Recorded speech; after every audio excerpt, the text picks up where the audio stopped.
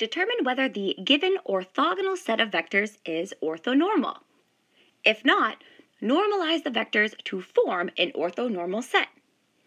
So to begin, let's recall that a set of vectors in Rn is called an orthonormal set if it is an orthogonal set of unit vectors. So in this example, we already know that these two vectors are orthogonal.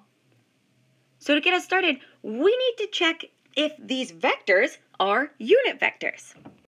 So thinking about the vector v sub 1 first, I'm going to factor out that common scalar multiple of 1 half.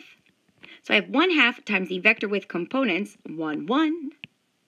And now computing the magnitude, we have 1 half multiplied by the square root of 1 squared, which is 1, plus 1 squared, which is 1, which leaves us with the square root of 2 over 2, which of course we know that does not equal 1. Rats. Well, let's see what's going on with vector v sub 2. Again, I'm going to pull out that common scalar 1 half. So I have 1 half multiplied by the vector with components 1, negative 1. And finding the length, we have 1 half multiplied by the square root of 1 plus 1. So we can again see the square root of 2 by 2 certainly does not equal 1. Rats.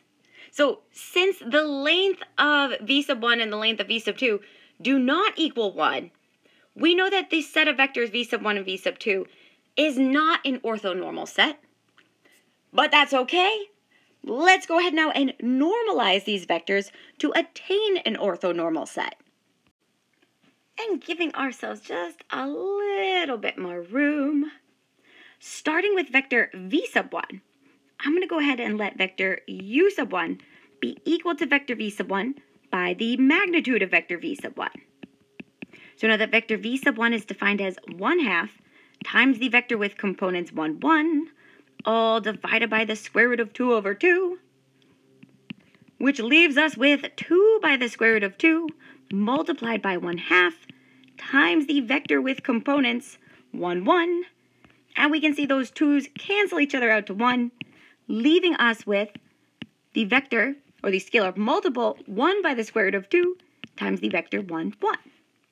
Now for vector v sub 2, let's go ahead and define a vector u sub 2 as being equal to vector v sub 2 by the magnitude of vector v sub 2.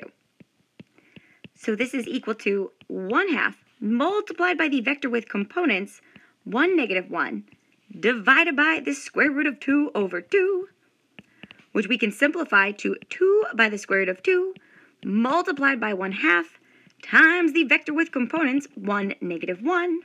And again, we see those 2's cancel each other out to 1, leaving us with 1 by the square root of 2 multiplied by the vector with components 1, negative 1. So we can say, therefore, the set of vectors u sub 1, u sub 2, which we attained by normalizing vector v sub 1 and v sub 2.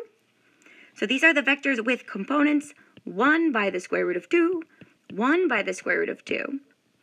And vector u sub 2 is the vector with components 1 by the square root of 2 minus 1 by the square root of 2. This set of vectors is an orthonormal set.